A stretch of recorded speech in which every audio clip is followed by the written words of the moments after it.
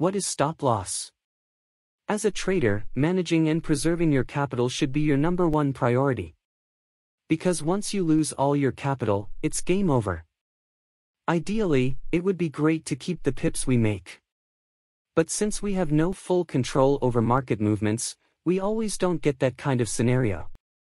That also means there's a chance we end up betting on the wrong side. While being in a losing position can be unavoidable, you have power over what to do in such a situation. You can cut your losses and live to trade another day, or continue trading, hoping the market moves favorably.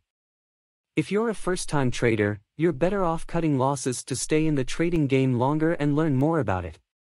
But if you're already experienced in this venture, having an exit plan is still as important. This is where stop-loss orders can help. A stop-loss order closes a position once the trade has reached a certain price level.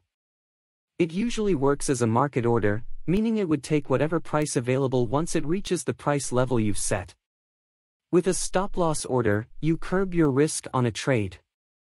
For example, you bought a stock at, let's say, $30, and set your stop-loss order at $29.50.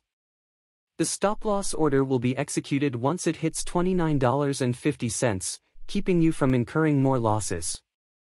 But if the price never falls to $29.50, your stop-loss order won't be carried out. In setting stop-loss orders, it's important that you do them strategically and based on trying out different methods.